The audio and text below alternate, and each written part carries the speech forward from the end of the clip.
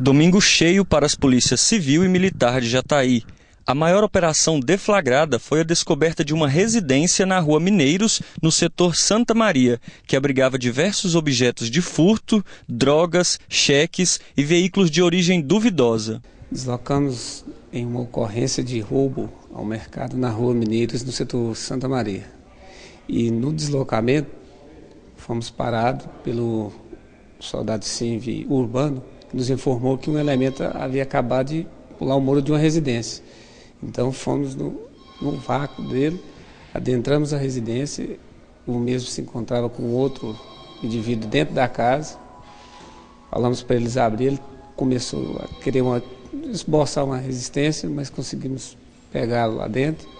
E quando chegamos é, e modelamos com a outra viatura, eles passaram as características que batia com a descrição dele.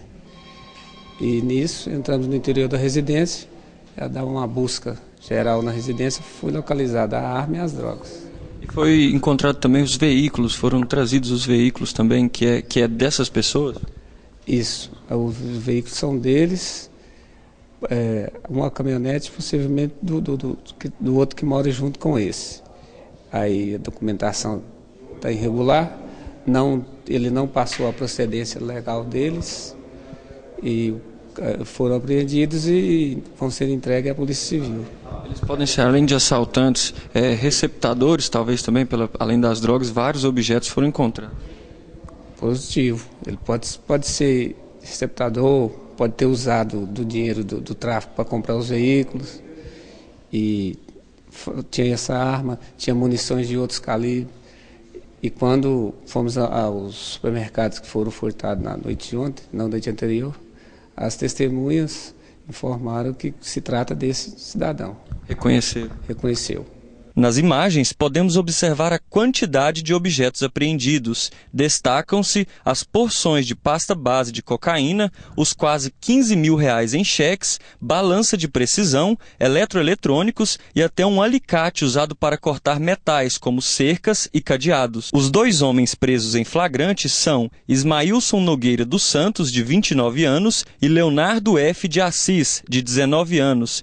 Leonardo é o garoto que foi visto pelo policial pulando o muro da residência, ação esta que deflagrou toda a operação. O rapaz foi reconhecido também por uma vítima que teve seu estabelecimento comercial roubado na noite de sábado em Jataí. Eu ontem à noite eu estava acabando de organizar para fechar, era mais ou menos umas 8 e 10 da noite mais ou menos, quando ele, quando chegou duas clientes e eu fui atender, e aí tinha o meu esposo, mais o meu funcionário e um outro cliente lá no fundo. E ele entrou e deu a voz de assalto. Calmo, nenhum momento foi violento, sempre apontando a arma pra gente, no, no assim, apontava, mas não, não ameaçava, não fazia nada. Falando baixo o tempo todo. Até então a primeira voz, a primeira vez que ele falou assalto, a gente achou que era até brincadeira. E ele falou novamente. Eu fui, peguei todo o dinheiro e entreguei para ele.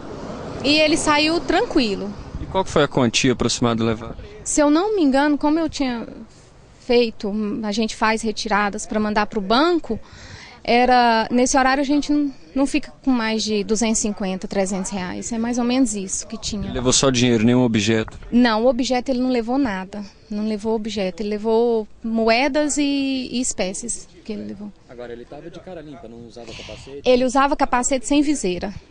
Mesmo assim, foi possível a identificação foi, dele? Foi, foi sim. O, o, olho, o nariz, eu prestei bastante atenção, vi o olho, o nariz dele, porque na hora que ele entrou a primeira vez, assim, na hora que ele entrou, eu fixei bastante o. Porque a gente assusta, fica sem entender, achando que é uma brincadeira, alguma coisa assim. E, e ele virou o rosto para o meu lado. Na hora que ele virou o rosto para o meu lado, eu percebi, eu vi o nariz e o olho. No estabelecimento não tinha nenhum é, algum aparato de segurança que pudesse intimidá-lo, câmera? Tem, só que isso aí hoje nem, não segura, né? Nada, não adianta você querer gastar o que a gente gasta e eles não, eles não têm medo disso mais não. Isso aí para eles está sendo fichinha para eles. Os dois criminosos foram autuados em flagrante pelos crimes de tráfico de drogas e posse de arma de fogo e munição. Leonardo, de 19 anos, será indiciado ainda por roubo à mão armada.